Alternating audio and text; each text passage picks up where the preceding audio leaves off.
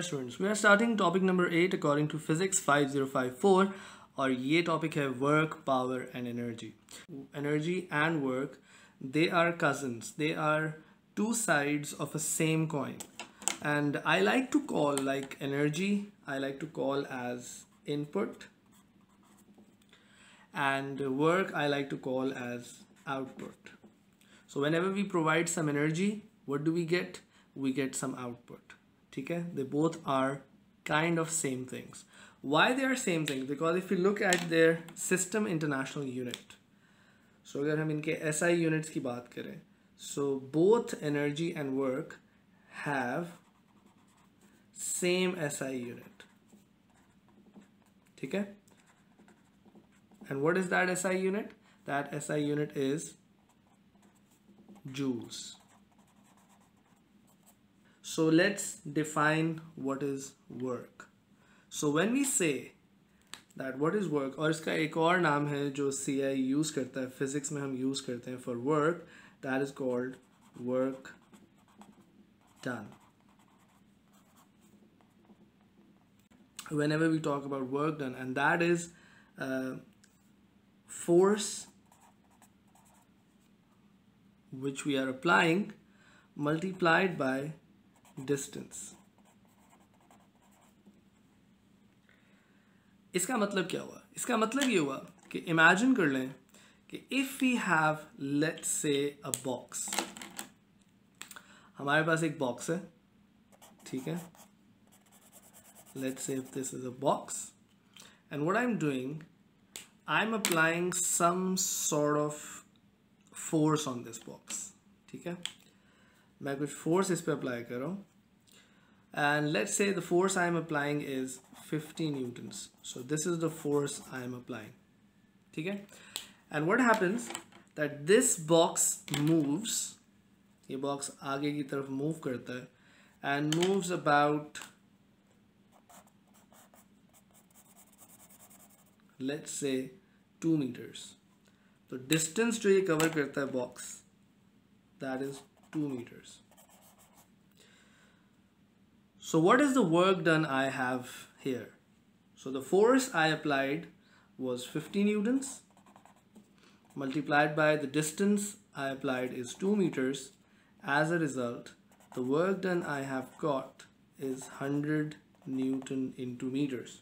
तो ये यहाँ पर जो distance है अगर मैं इसको parallel distance बोल दूँ तो गलत नहीं होगा although we don't write it but that's what we mean that this distance must be in the same direction as this force and that's what we get so basically इसी 100 newton metres को हम 100 joules भी लिख सकते हैं so the work done I have got is either 100 newton meters or 100 joules right so this is the work done I have achieved.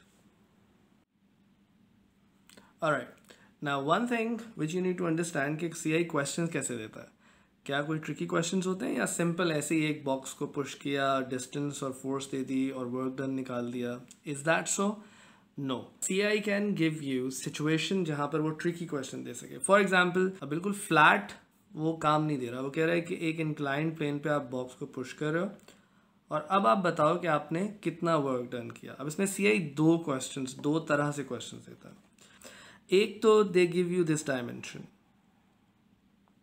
एक they give you this height ठीक है? ना this height they let suppose give you ten metres for example it can be anything but let's just say this is ten metre value and then what do they do they give you another dimension maybe this distance ये जो hypotenuse वाला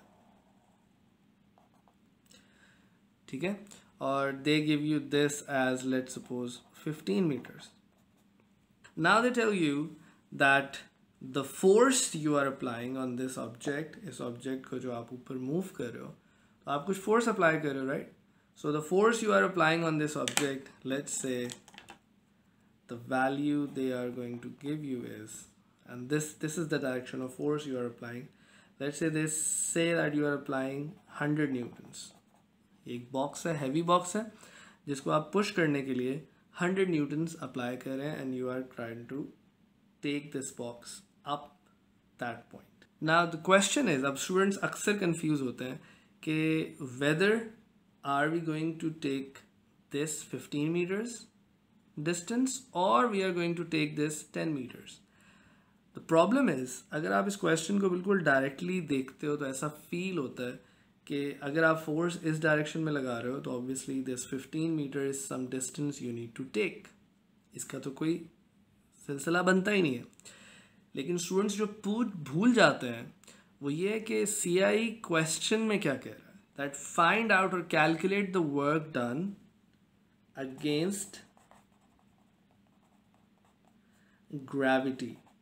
Now they use multiple words here they say gravity GPE gravitational potential energy की बात करता है तो you need to understand that actually they are talking about not this distance they are rather talking about this because this height is against the gravity क्योंकि अगर इस box का मैं वेट लेट सपोज़ अगर मैं यहाँ पे रख देता हूँ ये बॉक्स और इसका मैं वेट ड्रॉ करता हूँ।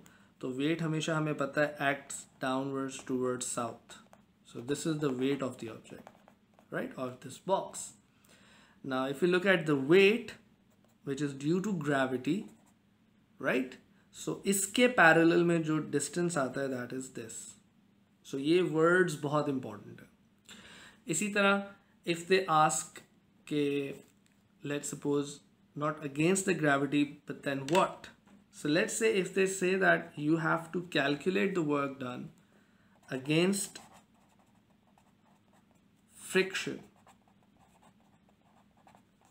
क्योंकि यहाँ पर एक फोर्स तो आप अप्लाई कर रहे हैं एक और चीज़ जो आपको रोक रही है रेजिस्ट कर रही है वो एक्चुअली इस सरफेस और इस ऑब्जेक्ट की सरफेस के बीच में फ्रिक्शन है रेजिस्टेंस है that is trying to stop you so if they ask you against friction that is when you are going to use this distance all right because friction is trying to hold this way now this way is parallel to this distance not this so ये बहुत important बात है और बहुत समझने की बात है uh, students take it slightly lighter but it's not something which you need to um, forget because otherwise आपका question गलत हो जाएगा and you won't be able to solve properly or get the right answer